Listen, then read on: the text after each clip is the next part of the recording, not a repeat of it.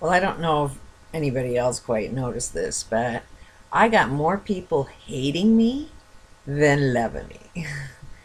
and it's like, why? Why would there be this many people hating me? And I've even heard that there's websites about me with all of this hate.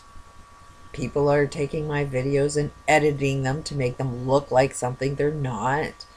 I've heard people starting channels and uploading all my videos so they can all discuss what it is that I'm saying openly because there's just no conversation on my channel. Like, it's just cunt, whore, bitch. You know, just a nothing but hate gets posted on my channel, so I have to block and delete. So they've taken their. I wonder how that conversation's going out. I wonder if any of that's actually true. Um, haven't really seen any websites, not that I'd even look at it if somebody gave me a link, but I am hearing that it's out there. The question is, is why is there so much hate out there? Now, from what I've realized is everything we believe to be true happens to be wrong. so if somebody points that out, if somebody says, hey, you know what, you're completely dead wrong in what you believe in, um, they're not going to take it too well. but how else are you going to let anybody know what you're doing is a little wrong? Now, there's a few really good videos to, to bring up today. One of them is on Religion Inc., which is big business. Good, good video. Go check it out. And and while I'm there, I'm going to question, was Jesus actually a good motivational speaker? Did he motivate anybody to actually do something good? Or did he just sit there, wait till he got crucified? So clearly, when there's an entity on this planet that knows that, hey, everything you're doing is dead wrong, there's a lot of hate and you'll crucify him. You crucified Jesus because he's seen everything you were doing was dead wrong. Tried pointing it out. What'd you do? Yeah, nailed him to a freaking cross. So he sucked at, at motivating. So it's like, I ain't no better than Jesus. It's like, okay, I suck at trying to point out what you was doing is wrong.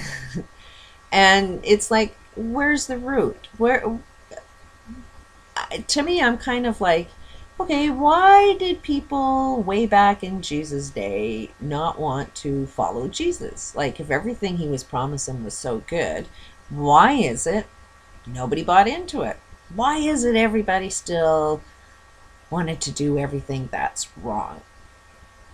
And I'm guessing that Jesus didn't really say why it's so important to do something good. You know, what does it do for you? To do something good? Like, what would motivate you to do the right thing? Why is it we're all so motivated to do the wrong thing?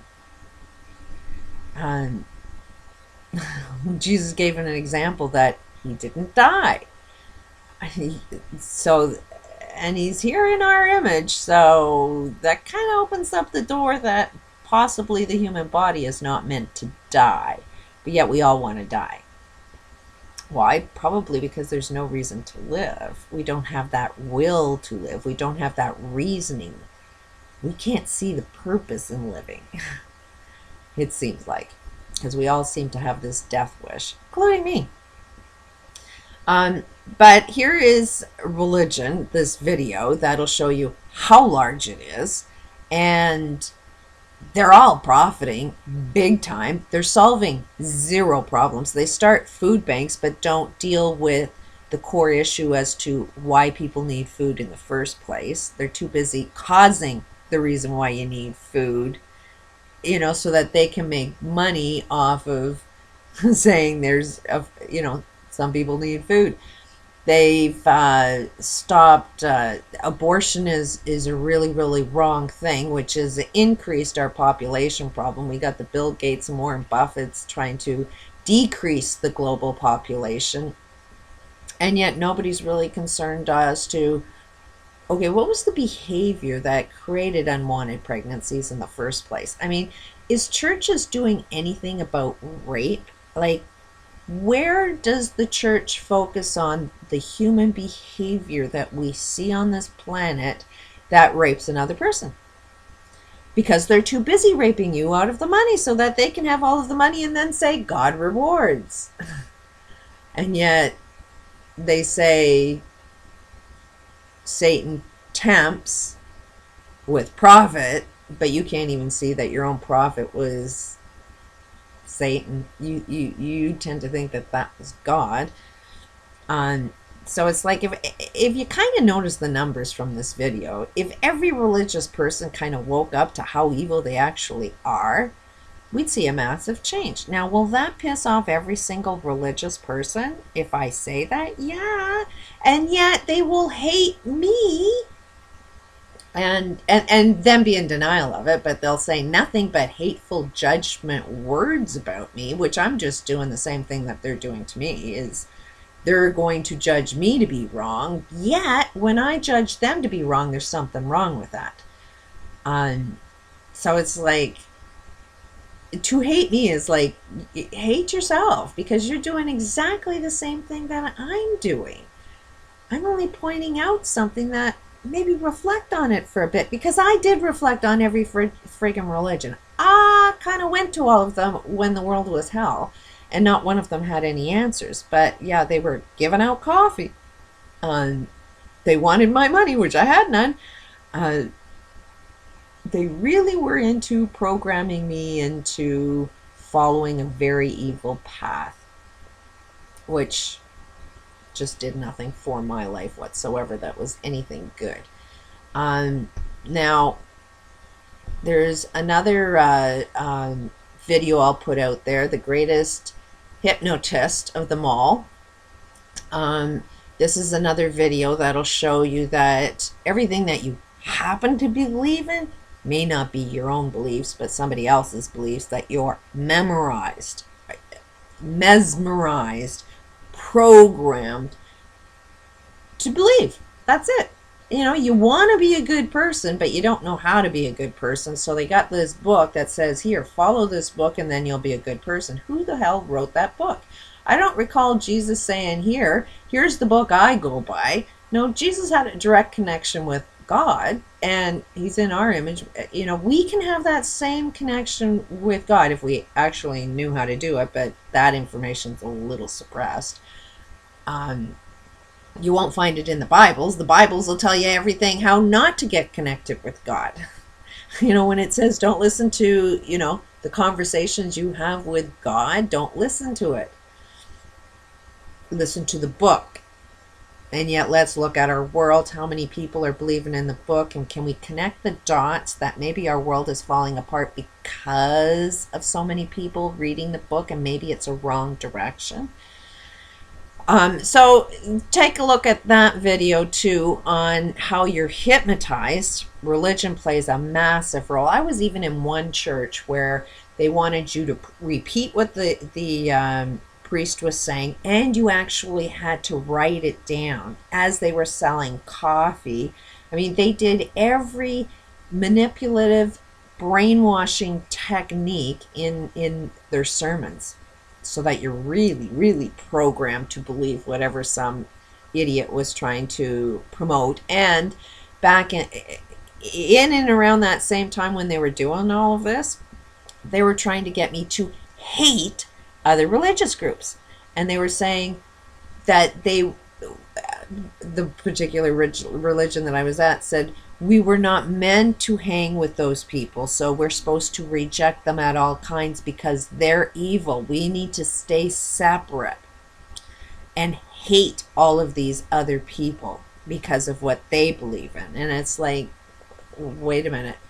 I came to you for help, and yet all you're doing is trying to get me to hate everybody in the world except for the people in this church who none of them are doing anything good. Like, they're all addicted to drugs, oh, caffeine, and not one of them were doing anything good. This one priest was going into some war country and um, the home that he was invited to go in and have a, a coffee, he was so disgusted with it. It wasn't the royal palace he was used to. You know, so all he did was talk about his sermon about how horrible it was for him, but he hung in there and he was doing his godly duty, even though it was so rough for him to look at all that poverty. And he didn't see that he was creating most of that poverty himself. Anyways, um, what was done to us can be reversed. The same techniques that were done to program us to have a lack. You have a lack you lack love, you lack prosperity, you lack an awareness that you're connected with other good people. You lack the, the ability to even see that there's goodness in everybody, even the evil people. People that you hate, me, has something good in them, but you won't be able to see it because you're so blinded with your hate, because you're lacking in alignment with, okay, there's goodness in every single one of us, but can we see it? Um, you're lacking in confidence. You're um, the every aspect of humanity right now has been brainwashed to lack which means it's profitable because now you can go and search for it.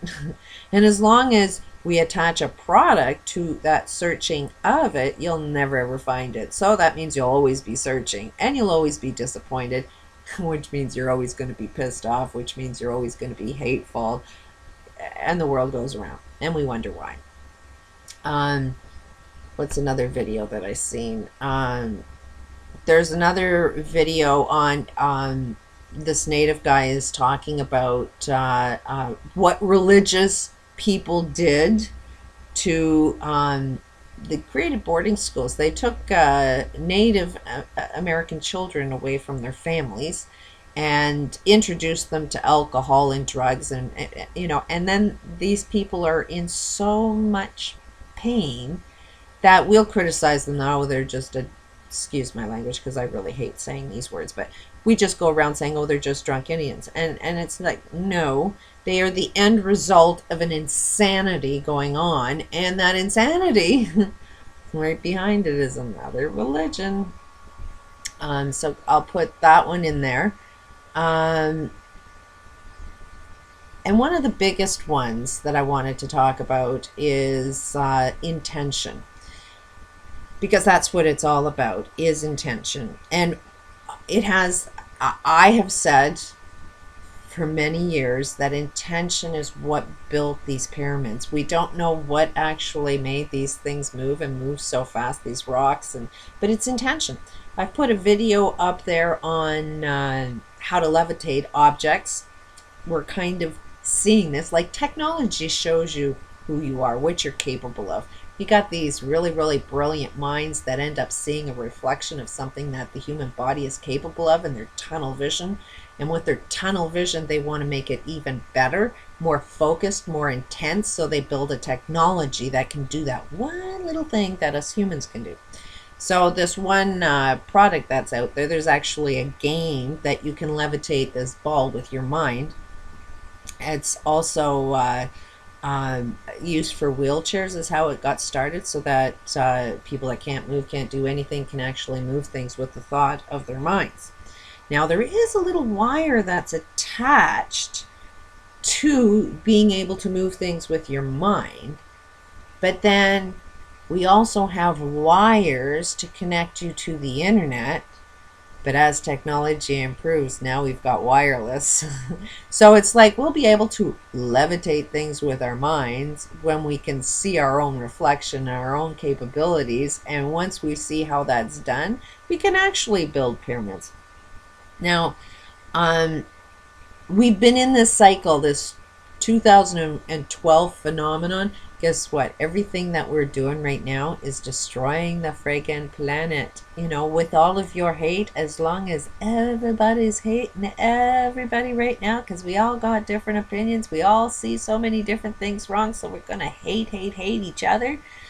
Um, we're not taking personal responsibility for our intentions. We have intentions to do something onto other people, but we don't have intentions for your own life. And and what does it mean to to be a good person we have no clue of that to be a good person oh means going out and getting stuff and then when your stuff is you know piling up then you're a good person um, building pyramids is not the way to go because it's almost like ah, yeah the world's falling apart we need a pyramid so we can stay safe and as the world falls apart and we're not connecting ourselves to our universe that uh, we're connected with the, the wind that blows cut the, the rainforest down you'll change the weather patterns. When you see how connected you are with your immediate world well your body and why you get sick there's a cause your behavior. I'll continue on another tape